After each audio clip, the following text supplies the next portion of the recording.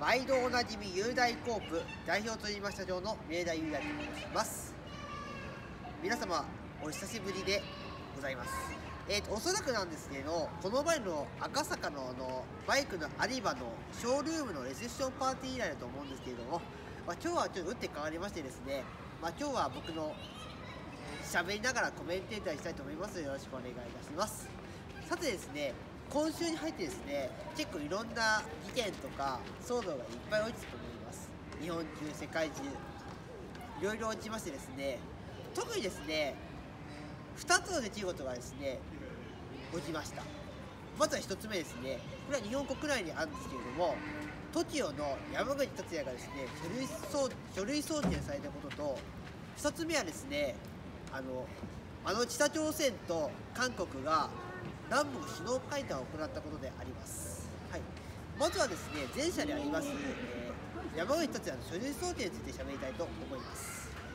あの山口達也はですねみんなも知ってると思うんですけれども TOKIO のメンバーであります。TOKIO と言いますとあの鉄腕ダッシュとかあとアンビスジャパンですかね。あの Be Ambitious の曲を歌ってる、まあ、メンバーだと思うんですけれどもそのメンバーの山口達也がですねあの高校生にですね手を出してキュンをしてキスをしてそれなんか書類送検されて結局なんかそのジャニーズ事務所から無期限停止を食らったわけでございます、まあ、僕はそのニュースを聞きまして本当に残念だと僕は思ってるんですね。あどうしてかと言いますと TOKIO あの山口達也 TOKIO のメンバーでありまして TOKIO がですねあの僕はあの今までの自分はじゃいろんな音楽のグループいっぱい見てきたと思うんですけれども一番なんか好印象なやつらなんですね。で結構僕小学生の頃から鉄腕ダッシュを見ててすごい面白かったし音楽もすごいなんか好印象的ななんかいっぱいあったと思うんですね。それを見てて今回のは本当に残念だと僕は思うんですねやっぱり。山口達也はそのなんでその高校生を出してしまったとかも言いますとですね NHK のですね「あの R の法則」っていう、まあ、番組があるんですよ。その番組がですね女子高校生と喋ってその今時のトレンドとか流行とかを喋りながらそういうなんかそういうの交流を促すのが番組なんですね。それをそれの共演者となんかまだまあ仕事だけの仲間でよかったんですけどそれをなんか自分の自宅のマンションになんか呼びつけてそれでなんかキスをしまったっていうのですねやっぱり。まあそれは確かに山口達也も悪いと思うんですけれども何でその女子高校生もってホイホイする夜のなんか8時くらいには呼ばれたんですよ。呼ばれてそれでホイホイついていくのもなんかおかしいと僕は思うんですよ。ねやっぱり。でなおかつその女子高校生の中実家暮らしだったらしくてそのお母さんも全然不審に止めてそんなとこ行くのやめなさいよとかっていうそれも言えなかったのもちょっと悪いと思うんですよね。確かに。あとはですねジャニーズ事務所ですねやっぱり。ジャニーズ事務所もですねやはり最近その芸能界の人多多くないですか皆さん。例えば麻薬の問題とか女性問題とかあとなんかいろいろなんかいろいろ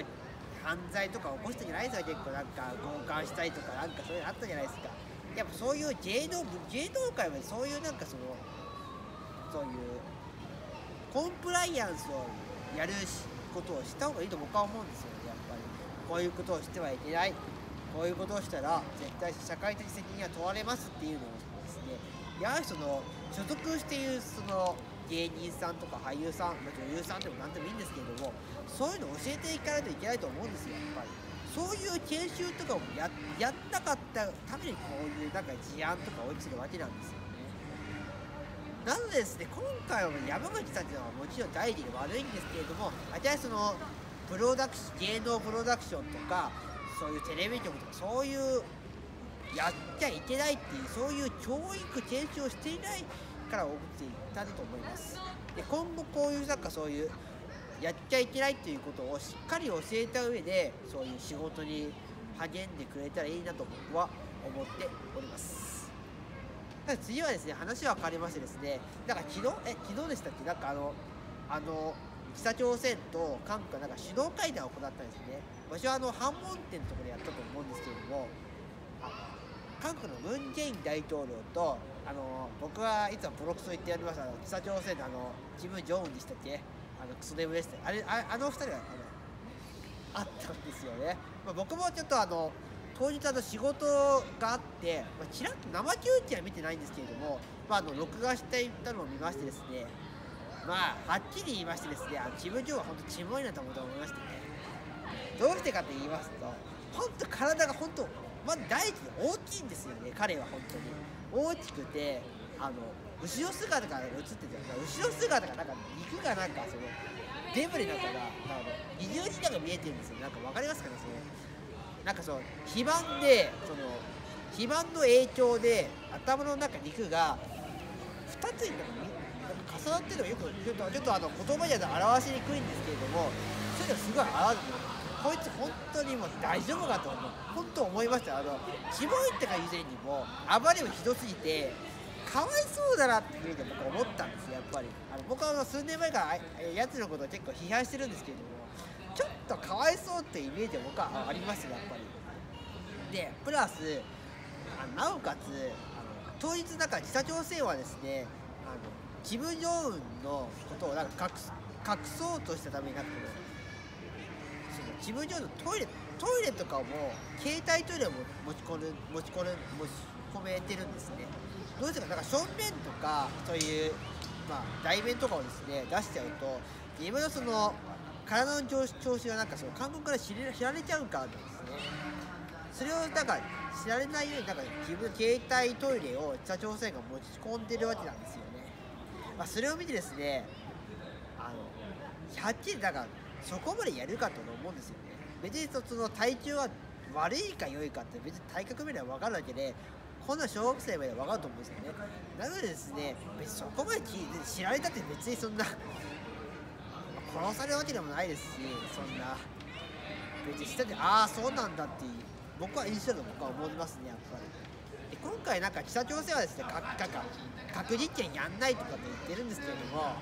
僕の様子は多分やつらは約束を、破ります。どうしてかって過去二十数年間はですねやんないやんないで結局なんか核実験やってんじゃないですか。それなのにいきなりなんか来てなんかやめるっていうのはちょっと現実ではないと思うんですよ。過去にいろいろ世界国国際社会を裏切ってやつやつそう簡単にはうまくいかないと思いますねやっぱり。いやもちろん韓国と北朝鮮仲良くなるのはいいんですけれども